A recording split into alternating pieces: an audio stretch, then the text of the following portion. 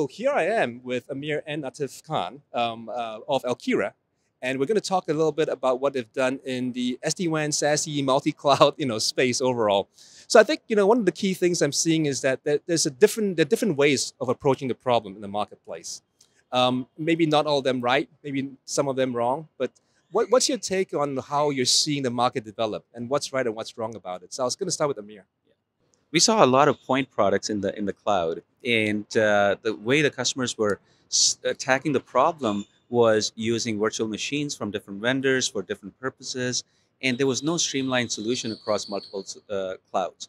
And then the capability of the cloud to offer services in an elastic manner nobody was using that ability as a service for the customers because today it's all about agility, it's all about as a service, on demand, elasticity of the network, and so that you can solve a problem end to end. Now, now that we have created an adjacent market for networking in the multi-cloud, once we you sit inside the cloud, you can start to service outside the cloud applications also.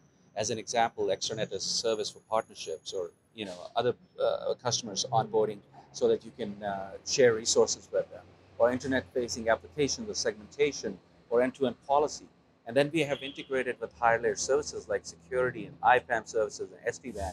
So Alkira solution has become kind of a glue and a transformational technology which spans all environments.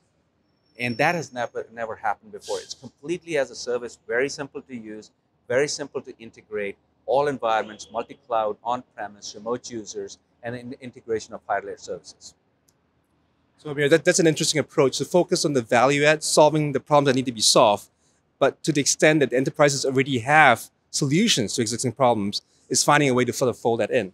Now, certainly you guys must have learned that over the years. And maybe let's let's talk about how you guys started Alkira in the first place, going back to the origin story. And maybe for that, I'll turn to Atif and, and to say, you know, how do you get started? So we come from the SD-WAN background. Our last company was Viptela, which was acquired by uh, Cisco back in 2017. So the story is that uh, uh, SD-WAN, you know, when we started back in 2012, the main use case was uh, site-to-site connectivity, site-to-site, site-to-data center.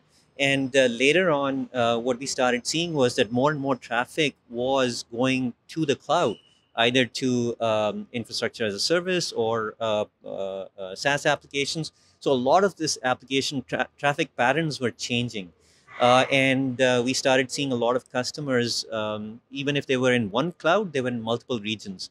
So they had users uh, scattered all, all over the globe uh, they had uh, you know their workloads or applications or whatnot running in uh, multiple regions in the same cloud some had uh, started adopting multiple clouds so before you know it be all became like a one big you know network uh, which uh, uh, not only spanned multiple data centers and you know multiple branches, but you brought in many different regions from the cloud providers and many different clouds uh, uh, there. And now all the you know the requirements for security changed uh, because you need to secure all of this when you. bring in all these multiple cloud providers or clouds into your mix. So cloud, what we are seeing is changing a lot uh, of uh, the way the networking is done or needs to be done. So that's how we embarked on uh, this journey at Alkira because we started to we realized that uh, networking had to be reinvented for the cloud era, and that's what we are doing uh, here uh, with Alkira. Excellent. Thank you guys for the conversation. And uh, I think that's pretty compelling. As we're moving to the cloud, networking needs to change too. And sort of the cloud out approach that you're, you're taking, also the cloud centric approach, I think makes a lot of sense. So Appreciate it. Great. Thank you so much. Thank you.